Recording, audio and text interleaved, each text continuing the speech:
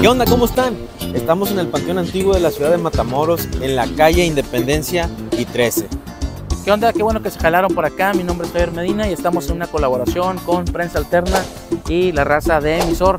Y bueno, como dijo eh, Braulio estamos en el Panteón Antiguo está aquí ubicado en Matamoros, Tamaulipas. Imagínate si Matamoros tiene 198 años de, haber sido fundado, pues en este panteón están los restos de las personas, ahora sí que fallecieron en aquellos años, en aquellos tiempos, en aquella época, y, que aquí, aquí muchos de ellos están.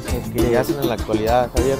Oye, Javier, otro dato importante, este, este panteón fue restaurado o fue este, embellecido en, en el, en el... Bueno, por el, el área, por el área exterior, porque por por el interior pues está, está Pues para sí. llorar. Pero sigue, sigue siendo este, un panteón antiguo. ¿Quién, quién le metió mano?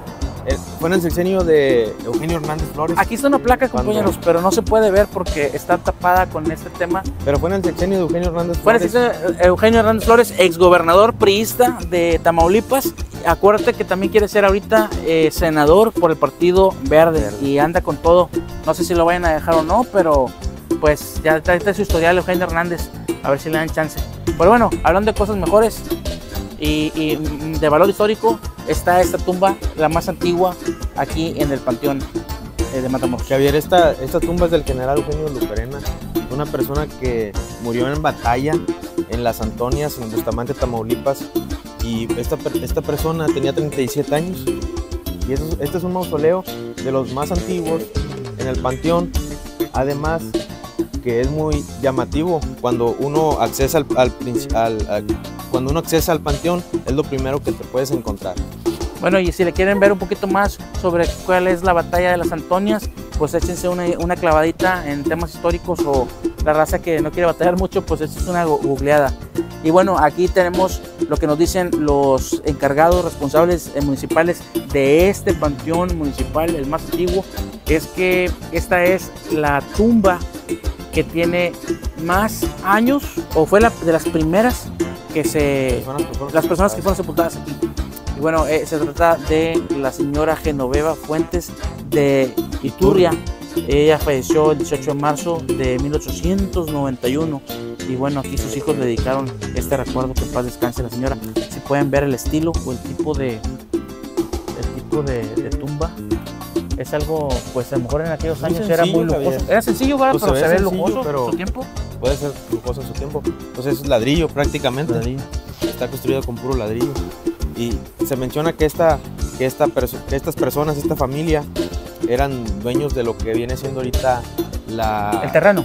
el terreno, vaya. Bueno, el, el- el- el- el lugar donde está ubicada este, en Sarita, Texas, el punto de revisión muy conocido. Sí, cuando ya uno se quiere internar hacia Estados Unidos y quieres ingresar, eh, ese es uno de los puntos de revisión más importantes. Mira Javier, esa, esa tumba. Llama la atención que aquí hay muchas figuras, muchas figuras y mausoleos. como estilos, ¿no? Sí, sí, sí. Mira, como esta. Mausoleos no- enormes. Esta se ve muy, pues, elegante. Mira, por ejemplo, ah, caray. Nos seguimos tropezando con algunas cosas. Esta es de la señora Serna de Martínez Berlanga. Miren. Bueno, hablando, hablando de tumbas, está una de una familia Muy conocida en la ciudad de Matamoros, Y- o que importante. fue conocida. Importante, porque estas personas, pues, son parte de la historia de la ciudad. Y una de las, de las casas, este, muy representativas de aquí de Matamoros, que está ubicada en la calle 7 y Herrera, que se llama Casa Cross, la familia Cross. Es una casa eh, con- construida a- al estilo francés, ¿es colonial francés. Colonial Ese francés. es un, un estilo colonial francés Es- de 1885, Javier, esa, esa casa. Si pueden ver, eh, nos imaginamos que todo esto es mármol. Vemos este tipo de la, estatua. La verdad no tiene ningún nombre a, la vista, pero está muy, muy bonita. Y pues, imagínate los años eh, que la colocaron hasta ahorita, está muy bien conservada. Aquí, por ejemplo, esta, esta, la primera tumba de esta familia está dedicada a Juan Cross. Nos imaginamos que él es padre de Melitón Cross, quien construyó la casa la que la imagen que vimos ahorita. Este, él dice que es, fue natural de las Carolinas del Sur, en Estados Unidos, que falleció el 31 de agosto de 1900, a la edad de 84 años. Si, nada más quiero que vean algo, por ejemplo, eh, esta, esta tumba más o menos mide, no sé, un metro y medio por a lo mejor tres o, sí, como tres de, largo, Pero este espacio que dedicaron a esta familia Cross está enorme. Está custodiado por estas vallas como de, pues de metal. ¿Dónde metal? Llama mucho la atención, Javier. Están, pues se ve muy, muy, muy, muy impactante. Esto. ¿Será eso francés también, estilo francés? Pues debe un conocedor de arquitectura? Ahí que nos, que nos escriba, que nos ponga qué estilo, qué estilo puede ser y si, y si pueden ubicar a esta estatuilla, uh, cómo es que, que, la nombran o por qué, cómo, cuál es la denominación. Bueno, y algo que queremos ver, otro que nos llamó, nos llamó mucho la atención, otro tipo de mausoleo. De mausoleo fue este que vemos aquí. No sé si ustedes alcanzan a percibir, pero aproximadamente, no sé, le calculo unos, ¿qué? ¿3 metros de alto? o, más enorme. O más con, bueno, con el, con el, con la estatuilla arriba. con la figura. Yo creo que debería de ser unos, no, sí, estoy exagerando yo en los 3 metros. Yo creo que son 8, 8 o 10 metros ya completos. se, ve enorme, Javier. Y también está protegido por esta valla metálica, igual que la de la familia Cross. Este, pero viste que este es de Leopoldo Muñoz. Leopoldo Muñoz. ¿Leopoldo Muñoz? Sí, ahí se menciona. Pues Está enorme, Javier. parece que es, es mármol el material que utilizaron ahí. o, o, piedra. Un tipo de piedra. En esa esquina se alcanza a ver como que tiene un, un, despacio o algo, tiene como unos fierros ahí atorándose como, como unas calzas. Me imagino que ya por lo. Por el tiempo. Por el tiempo. Por el tiempo. Bueno, Javier, vamos a, a dar otro recorrido hacia el fondo, más al sur. Este, ahí también está un personaje muy importante de la ciudad de Matamoros. Sí, este yo creo que algo que les quiero comentar es que ahí yacen los restos de el, eh, un exalcalde de aquí de, Matamoros. Ese exalcalde, este, de apellido Elizondo, que muchos lo van a ubicar, este, es una persona que se tiene registrado en la, en la historia de Matamoros como el alcalde que fue asesinado. Es más, no fue asesinado, fue cobardemente asesinado porque a él lo, le hicieron una emboscada. Él fue alcalde de Matamoros de 1949 a 1951 y fue asesinado en el 52, es decir, un año después. La historia no ha podido comprobar, ni fíjate, lo raro, bueno, estamos en México, lo raro es que ningún alcalde que le ha sucedido, ni contemporáneo, ni gobernadores, han podido resolver el crimen. Resolver el crimen.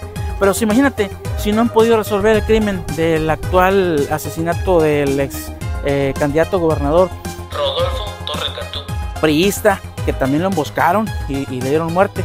Bueno, ahorita vamos a ver a, esta tumba donde la historia señala que cuando fue emboscado, fue precisamente emboscado en un, un bar, bueno, era un restaurante, yo no tuvimos el privilegio, pero era muy conocido ahí por la Hidalgo y Sexta Drive-In. Era conocido como el Drive-In. Algunos de las personas de Matamoros se van a acordar y lo van a ubicar perfectamente. Bueno, ahí lo cerraron y a punta de escopeta 12. De escopeta, sí, con, con, escopeta 12. Fue a bocajarro porque le, le dieron un impacto, fueron certeros en la cabeza. Y esta foto que ustedes están viendo aquí, que estamos pasando, es una foto que logramos conseguir porque en esa foto eh, se ve cómo quedó el exalcalde eh, en su carro, completamente de lado, completamente pues, pues reventado su cabeza por el impacto impresionante de bala que tuvo. Y bueno, ninguno de sus acompañantes fue herido este, o, o asesinado más que él.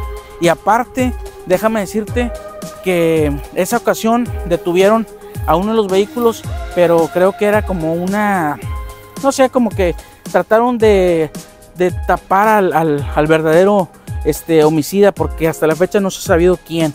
Lo, que sí se sabía era que traía broncas con un alcalde que también fue de Matamoros de hace años, que fue eh, Ve García. Juan B. García, perdón, disculpen, Juan B. García. Este, y bueno, aquí estamos viendo que esta tumba eh, fue, es de la familia Elizondo, dedicada precisamente al señor Ernesto Elizondo, el 27 de mayo de 1952. En Matamoros, Tamaulipas, su esposa e hijos se la dedican y le desean este, este recuerdo para su eterno descanso. Podemos ver que es una, pues imagino que para aquellos años era algo lujoso, pero ahorita vemos algo completamente destruido, los materiales completamente desgastados, en ruinas, no vemos ninguna Alguna Pues- seña de, de que les traigan, le traigan este, flores, flores o algún arreglo. ninguna coronita o algo. Y aparte, bueno, ni siquiera por los mismos alcaldes de contemporáneos ni de ahora, este, eh, que, que quieran pues rendirle un homenaje, sobre todo porque, porque de acuerdo a la historia, el señor Ernesto Elizondo fue quien junto con un equipo o un grupo de personas que le llamaban la Junta de Mejoras Materiales, este, se decidieron en formar la Junta de Aguas y Drenaje de Matamoros. La misma Junta de Aguas y Drenaje de Matamoros que en su momento ellos decidieron ah, pues organizar o crear, que acuérdense que en todo Tamaulipas es la única Junta de Aguas y Drenaje de Matamoros, los demás son comapas. Es, es decir, esta depende, entre comillas, del pueblo. del pueblo. Pero en realidad ustedes saben que ahorita está unido de, de, de- de, ratones. de ratones Javier. que Sí. no han podido con nuestros caídos, ni con nuestras fugas de aguas negras, ni con nada. Este, pero bueno, esa es otra historia, Es otra ¿verdad? historia. Que ya, ya no la Javier, sabemos. También es importante mencionar que este presidente este, fue el que construyó la prisión que estaba en la 21 y González. Se menciona en la historia, se menciona en la historia que él fue el que, que hizo esa, esa construcción. Por eso también es con- conocido. Y además de que hizo muchas mejoras en la ciudad pavimentó un montón de calles, fue una persona que se le reconoce, pero que es este, parte de la historia de Matamoros y que ahí está su tumba. En ese tiempo hablan de que hubo, había mucho auge, había mucha lana, mucho movimiento. Este, pero acuérdate que no solamente es necesario que exista la lana. Aquí en Matamoros también hay dinero, pero lo que se hace falta es la voluntad.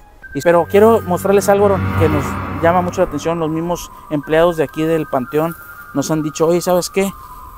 Aquí se da mucho eh, el que nos encontramos este tipo de objetos. Miren, nos vamos a acercar nada más lo que... Pues qué tipo de artefacto podría ser. Aquí ando buscando una varita para poder.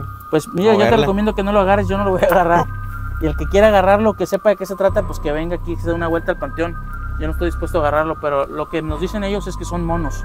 Son monos y obviamente pues no somos, Son monos no gurús. somos ingenuos. Eso Pueden es- ser esos- gurús o artefactos que se utilicen para, La pues, para brujería.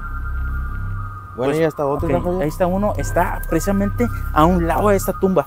Y este otro, Está aquí, pero ya está deshilachado. Ya, como no sé si ya- los animales lo rodearon. No sabemos qué pueda tener adentro porque son envoltorios. Entonces, Ahí para el curioso que quiera averiguar que venga y que lo saque. Este tipo de cosas nos dicen los, los quienes se dedican a hacer un Los sepultureros. Es que son muy comunes, los sepultureros también. Mira esta bolsa. Mira, miren, miren, por ejemplo, A ver. a ver si puedes.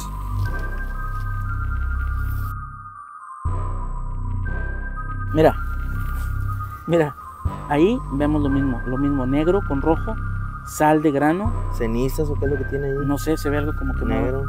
Sí, y acá a este lado es como, es un chile en realidad, relleno, no sabemos de qué, y está atado con un listón azul.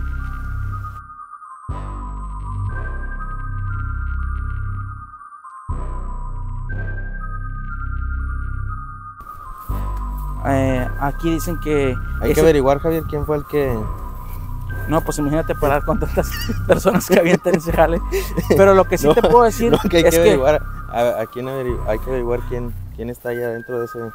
Mira una mosca en ese tipo de. Ah, bueno, mira, por ejemplo, aquí está otra cosa. No es casualidad. Está envuelto en algo negro y el interior es rojo. No se percibe obviamente, pero aquí da un olor este, putrefacto. Se ven algunas hormigas y una que otra mosca aquí que, que quieren nidar. Pero miren.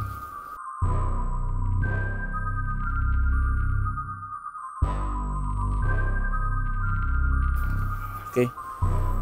Como ustedes ven, esto es muy común aquí en el, en el panteón. Y nos dicen los, los empleados, ellos lo que hacen es con, con la utilización de unas... Una Ah, pala. que la olía, olía- olía bien feo. Lo que hacen los... Sí, con una pala levantan y ellos, para evitar tocar nada de eso, lo, lo avientan con una pala a un contenedor y del contenedor lo avientan a un este a un miren esto Es lo avientan como a, a un tambo a un tambo y le prenden fuego Javier, ¿Mande? esa es como una tumba de un niño. Bueno, eh, les vamos a mostrar dentro de este panteón eh, los tambos donde nos comentan que. Ya me llené de cadillos. Eh, donde, los, donde, donde le prenden fuego a los artefactos que vimos ahorita que podrían ser. Este, ellos dicen que son monos. eh, otros dicen que son en realidad conjuros. ¿Tú qué crees que sea? Pues yo lo considero algo de las artes oscuras. ¿Algo de qué? Es algo de las artes oscuras, de la gente que se dedica a hacer ese tipo de, de trabajo de hechicería, brujería. Mira esto, por ejemplo, está una cobija, no sé si la aventaron a propósito o ya nada se me puede parecer extraño. O los muertitos se vienen a dormir aquí en la noche. Pues con este norte que se vino, Pues no este puede pasar. Bueno, aquí, miren, aquí están los tambos. Donde tienen todos los restos de basura. Y cuando queman ese tipo de, de cosas que se encuentran aquí, aquí los avientan.